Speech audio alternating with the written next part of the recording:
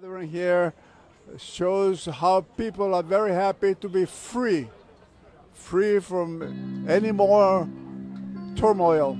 Dave Sablan is the son of the first elected mayor of Saipan, Elias Sablan, an advocate for self sufficiency. A special resolution marking the start of the Liberation Day parade that was delayed by the pandemic.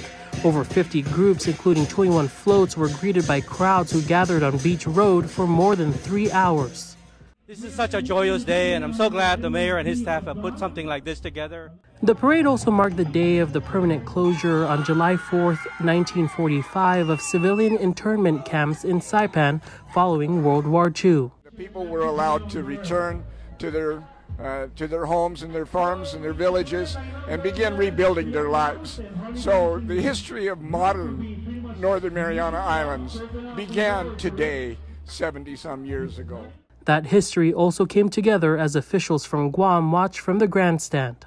Liberation Day means uh, means a whole lot for Guam and for the CNMI, and uh, we're just absolutely delighted to be here. And first time the Guam National Guard has been participating. Our history goes back quite some time, and although there was some difficult spots at the uh, at the beginning during the wartime, we've come together and we're great friends to this day. Tomas Manglona for KUAM News on Saipan.